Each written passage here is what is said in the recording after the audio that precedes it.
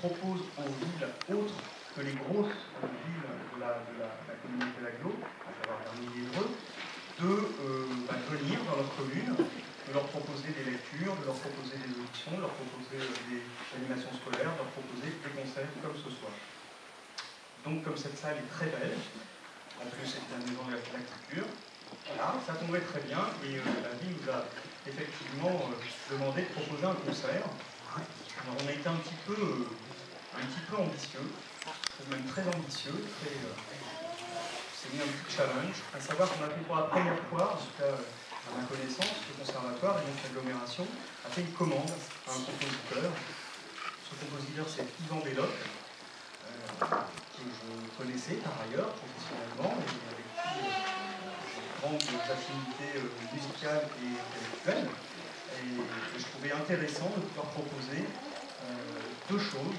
D'abord une création, donc de faire une commande à un compositeur, c'est notre mission, vous savez, euh, à tout moment, les compositeurs ont été des compositeurs contemporains. Hein, Beethoven aussi, un moment, Mozart aussi, un moment, c'était des compositeurs contemporains. Un moment, ils ont fait des créations.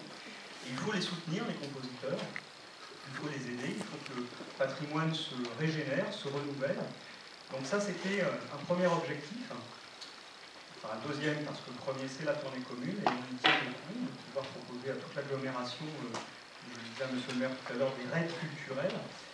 Et euh, donc ce deuxième objectif, de proposer euh, à un compositeur d'écrire pour, la, communauté. Et le troisième, c'était de faire participer les élèves. Donc dans le cadre d'un concert professionnel, tout à l'heure vous aurez l'occasion d'entendre la chorale conservatoire qui est dirigée par Patrick et accompagnée par Florence Lamano, qui ont donc travaillé, ces élèves, une œuvre du compositeur et Belloc. Donc ce soir avec une carte blanche à Yvan Desloc. Vous entendrez euh, plusieurs de ses œuvres en musique de chambre, avec des musiciens professionnels dont vous avez les noms euh, avec le détail du programme. Et musiciens très très très haut vol, de très grand niveau, et je suis vraiment très fier de les accueillir. Donc je vous remercie de les applaudir.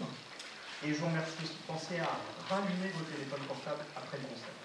Bonne soirée.